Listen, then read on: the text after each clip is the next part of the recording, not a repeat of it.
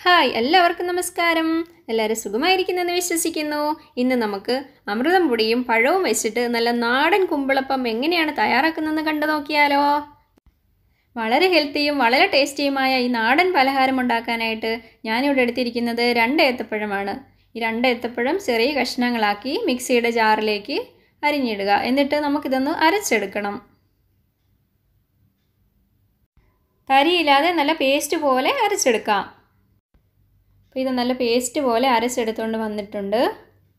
ഇനി ഈ പഴം അരച്ചതും അതിന്റെ കൂട്ടത്തിൽ കുറച്ച് ശർക്കര ഞാനിവിടെ പാനിയാക്കി വെച്ചിട്ടുണ്ട്. ഇരുന്നൂറ്റമ്പത് ഗ്രാം ശർക്കര. അത് പാനിയാക്കി അരിച്ചെടുത്തതാണ്. ഇത് രണ്ടും കൂടെ ഒരുമിച്ച് ഇതുപോലൊന്ന് മിക്സ് ചെയ്തെടുക്കാം. മിക്സ് ചെയ്തൊന്ന് കുറുക്കിയെടുക്കണം. അടുപ്പിൽ വെച്ചൊന്ന് തിളപ്പിച്ച് വറ്റിച്ച് കുറുക്കിയെടുക്കണം. ഈ പരുവം വരെ കുറുക്കിയെടുക്കണം. ഇനി നമുക്ക് കുറച്ച് തേങ്ങാക്കൊത്തൊന്ന് മൂപ്പിച്ചെടുക്കാം. കുറച്ച് തേങ്ങ കൊത്ത് ചെറിയ കഷ്ണങ്ങളാക്കി അരിഞ്ഞ് ഫ്രൈ ചെയ്ത് ഇതിലേക്ക് ഇടാൻ വേണ്ടിയിട്ടാണ്. നിങ്ങൾക്ക് ഇഷ്ടമുണ്ടെങ്കിൽ മാത്രം ചേർത്താൽ മതി. ഈ കുമ്പിളപ്പം തയ്യാറാക്കുമ്പോൾ ഇച്ചിരി തേങ്ങാക്കൊത്തൊക്കെ കടിക്കുമ്പോൾ നല്ലൊരു ടേസ്റ്റാണ്. അതിന് വേണ്ടിയിട്ടാണ് ഞാനിങ്ങനെ ചെയ്യുന്നത്. താല്പര്യമുള്ളവർ മാത്രം ചെയ്താൽ മതിയേ. ഇത്രയൊന്ന് ഫ്രൈ ആയി വന്നേച്ചാൽ മതിയേ. ഇത്രയും ഫ്രൈ ആയി വന്നിട്ട് ഇനി നമുക്കിത് അടുപ്പിൽ നിന്ന് മാറ്റാം. ഇപ്പോൾ നമ്മുടെ ഏത്തപ്പഴവും ശർക്കര പാനിയും കൊണ്ടുള്ള ആ ബാറ്റർ നല്ലപോലെ തണുത്ത് വന്നിട്ടുണ്ട്. ഒരുപാട് അങ്ങ് തണുക്കേണ്ട ആവശ്യമില്ല. ചെറുതായി ഒന്ന് തണുത്താൽ മാത്രം മതി. ഇനിയും ഇതിലേക്ക് ചേർക്കാനായിട്ട് ഞാൻ കുറച്ച് തേങ്ങ ചിരകിയതാണിത്. തേങ്ങ ചിരകിയതെടുത്ത് വെച്ചിട്ടുണ്ട്. പിന്നെ കുറച്ച് ഏലക്ക പൊടിച്ചതും കുറച്ച് ജീരകപ്പൊടിയാണ് ഇതിലേക്ക് ചേർക്കുന്നത്. പിന്നെ ഉപ്പും. ഇതെല്ലാം കൂടി ഇനി നല്ലപോലെ മിക്സ് ചെയ്തെടുക്കാം. ആദ്യം ചിരകിയ തേങ്ങ ഇതിലേക്ക് ചേർത്ത് കൊടുക്കാം. ഞാൻ കുറച്ച് തേങ്ങമായി എടുത്തിട്ടുള്ളൂ. അരമുറി വരെയൊക്കെ ഇതിലേക്ക് ചേർക്കാവുന്നതാണ്.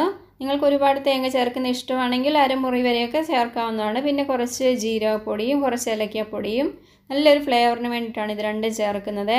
രണ്ടും ചേർക്കുമ്പോൾ നല്ലൊരു ഫ്ലേവർ കിട്ടും. പിന്നെ കുറച്ച് ഉപ്പ് കൂടി ചേർക്കണേ. ഉപ്പ് അത്യാവശ്യമാണ്. ഉപ്പ് ഒരുപാട് അങ്ങായി പോകരുത്. കുറച്ച് ഉപ്പ് ചേർത്തേച്ചാൽ മതി. ഇതെല്ലാം കൂടി ഇട്ട് നല്ലപോലെ മിക്സ് ചെയ്തെടുക്കണം. മിക്സ് ചെയ്തെടുത്തതിന് ശേഷം അതിലേക്കാണ് അമൃതം പൊടി ചേർക്കുന്നത്. ഇതിൽ നമ്മൾ ഒട്ടും വെള്ളം ചേർക്കുന്നില്ല. വെള്ളം ചേർത്ത് കഴിഞ്ഞാൽ ഇതിന്റെ ടേസ്റ്റ് മാറിപ്പോവും. വെള്ളം ചേർക്കാതെ ഉണ്ടാക്കുമ്പോഴാണ് നല്ല ടേസ്റ്റ് വെള്ളം ഒട്ടും ചേർക്കേണ്ട ആവശ്യമില്ല. ഇനി ഇതിലേക്ക് അമൃതം പൊടി കുറേശ്ശെ ചേർത്ത് കൊടുക്കാം.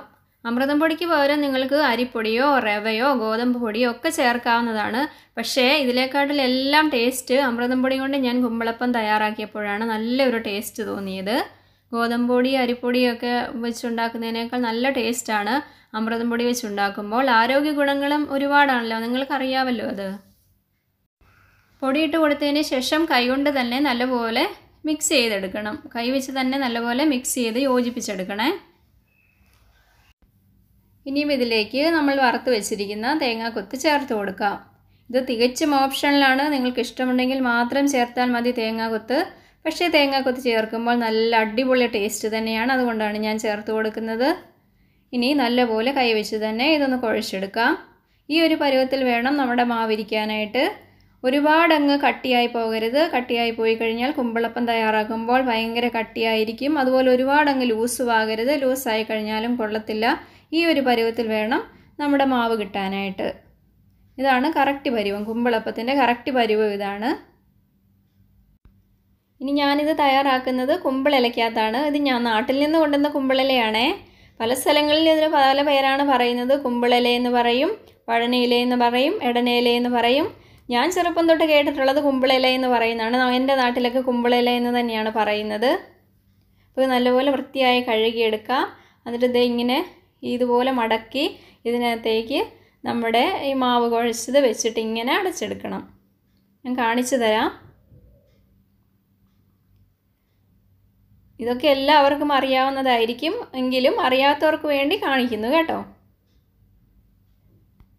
ഇല ഇതുപോലെ എടുത്തതിന് ശേഷം അതിലേക്ക് നമുക്ക് കുറേശ്ശെ മാവ് വെച്ച് കൊടുക്കാം. മാവ് ഒരുപാടങ്ങ് കുത്തി നിറച്ച് വെക്കരുത്. വേവാനായിട്ടൊക്കെ പാടുവരും. കുറേശ്ശെ ഇങ്ങനെ വെച്ചിട്ട് ഈ ഇല കൊണ്ട് തന്നെ നമുക്ക് അടച്ചു കൊടുക്കാം. ഇതിങ്ങനെ അടച്ചു കൊടുക്കാം. അത്രയേ ഉള്ളൂ. ഇതുപോലെ എല്ലാം ചെയ്തെടുക്കാം. ഇതുപോലെ അടച്ചു കൊടുക്കണം. അത്രയേ ഉള്ളൂ. ഈ അപ്പോൾ ഈ ഇലയിൽ തന്നെ ചെയ്യുന്നതാണ് ടേസ്റ്റ്. ഈ ഇലയിൽ ചെയ്യുമ്പോഴത്തേക്കും അതിന്റെ എല്ലാം ടേസ്റ്റ് നമ്മുടെ അപ്പത്തിന് കിട്ടും. ഈ ഞെട്ട് ഇങ്ങനെ അകത്തോട്ട് വെക്കുമ്പോൾ അതിന്റെ എല്ലാ സ്വാദ് ആപ്പത്തിലേക്ക് ഇങ്ങനെ ഇറങ്ങും. ഇനിയും ഇല തുറന്ന് തുറന്ന് പോവുകയാണെങ്കിൽ ഇത് ഇങ്ങനെ ഒരു ഇറുക്കിൽ വെച്ചിട്ട് ഇങ്ങനെ ഒന്ന് കുത്തി കൊടുത്തേച്ചാൽ മതിയേ. അപ്പം ഉണ്ടാക്കുമ്പോൾ അത് തുറന്നു പോകാതിരിക്കാനായിട്ട് ഒന്നുകിൽ അകത്തൂടെ ഇതിങ്ങനെ കുത്തി കൊടുക്കുക അല്ലെങ്കിൽ ഇതുപോലെ പുറത്തൂടെ എടുത്തിട്ട് ഇങ്ങനെ ഒന്ന് കുത്തി കൊടുത്തേച്ചാൽ മതി. അപ്പോൾ ഇത് തുറന്നു പോകത്തില്ല കേട്ടോ. ഇനി ഈ കുമ്പളയില നിങ്ങളുടെ അടുത്തില്ലെങ്കിൽ ഇത് വാഴയിലക്കകത്തും തയ്യാറാക്കാവുന്നതാണ്. അതും കൂടി ഞാൻ കാണിച്ചു തരാം. വാഴയില ഇങ്ങനെ ചെറിയ പീസാക്കി കീറിയെടുക്കുക. എന്നിട്ട് ഇതിങ്ങനെ ചെറുതാക്കി ഒന്ന് കോണാക്കി മടക്കിയെടുക്കുക. മടക്കിയെടുത്തതിന് ശേഷം ഒരു ഈർക്കിൽ അതിന്റെ സൈഡിൽ നിന്ന് കുത്തി കൊടുക്കുക. അത് തുറന്നു പോകാതിരിക്കാനായിട്ട് ഈർക്കിൽ കുത്തി കൊടുക്കുക. ഈർക്കിൽ കുത്തി കൊടുത്തതിന് ശേഷം നേരത്തെ പോലെ തന്നെ അതിനകത്തോട്ട് മാവ് ഫില്ല് ചെയ്തിട്ട് അപ്പം തയ്യാറാക്കാവുന്നതാണ്. വാഴയിലയിൽ ഉണ്ടാക്കുന്ന ടേസ്റ്റ് തന്നെയാണ്. എന്നാലും ഈ അപ്പം വഴനയില ഉണ്ടെങ്കിൽ അതിനകത്ത് ഉണ്ടാക്കുന്നതാണ് ഏറ്റവും നല്ല ടേസ്റ്റ് നല്ല സ്വാദോടുകൂടി കിട്ടുന്നത് അതിനകത്ത് ഉണ്ടാക്കുമ്പോൾ തന്നെയാണ്. എല്ലാവരും ഒരു പ്രാവശ്യമെങ്കിലും വാഴയിലക്കകത്തോ വഴനയിലക്കകത്തോ ഒക്കെ ഇതുപോലെ അമൃതം പൊടിയും പഴവും വെച്ചിട്ട് ഈ കുമ്പിളപ്പം ഒന്ന് തയ്യാറാക്കി നോക്കണേ. നല്ല അടിപൊളി ടേസ്റ്റാണ് ഒപ്പം ഹെൽത്തിയുമാണ് ഇപ്പം ഞാൻ ഈ അപ്പം എല്ലാം ഇവിടെ റെഡിയാക്കി വെച്ചിട്ടുണ്ട്. ഇനി ഓരോന്നും ഞാൻ ഇഡലി കുട്ടാത്തിൽ വെച്ചിട്ടാണ് ഇത് തയ്യാറാക്കിയെടുക്കുന്നത്. ഇതെല്ലാം കൂടെ ഇഡലി കുട്ടാത്തിൽ വെച്ച് കൊടുക്കാം. ഇഡലി കുട്ടകത്തിൽ വെച്ചിട്ട് ആവി കയറ്റിയെടുക്കാം.